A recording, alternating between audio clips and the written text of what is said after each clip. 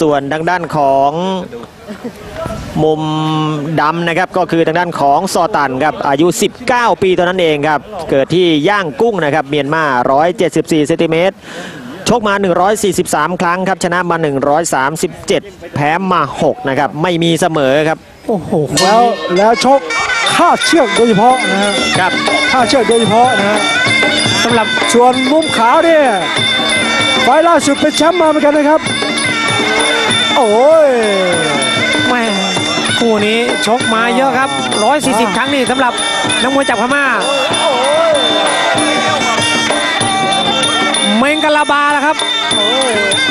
ภาษาของพม่า สวัสดีครับผมโอ้โหยกแรกก็ใส่กันทันทีครับ โอ้โหโอ้ยศอกขวาครับคุณลูกผู้ชมนี้ครับศอก ศอกขวาของซอตันครับ กรรมการต้องนับเลยครับ ต้องนับครับไม่นับไม่ได้ครับ ลูกนี้เต็มเต็มๆครับ กรรมการเสมานับ แล้วก็สับมือชกต่อ ดูจริงๆคู่นี้ โอ้โหไม่เชื่ออยู่สายตาครับ นักชกจากพม่าคนนี้ พันดุพันดุโอ้ยแม่น่าจะหล่นใส่ทีมผู้บรรยายเลยครับ เขาเป็นแชมป์ไอ้ครูครับชอบคุกฝุ่น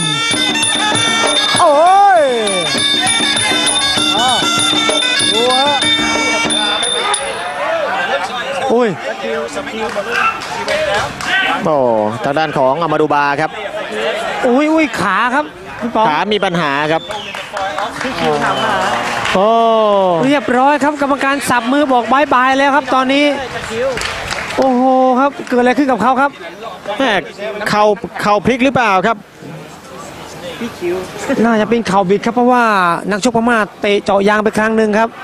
รุนแรงมากเลยทีเดียวนะครับ ตอนนี้แพทย์สนามก็วิ่งเข้าไปดูอาการแล้วนะครับ The winner is Black Team โซตันจากเมียนมาครับ และก็เป็นทางด้านของซอตันจากเมียนมานะครับนักชกจากย่างกุ้งครับเป็นฝ่ายเอาชนะนอกทางด้านของอามาดูบาได้ในยกแรกนะครับ ถือว่าเป็นตัวเต็งที่จะเข้าสู่รอบลึกๆทีเดียวนะครับ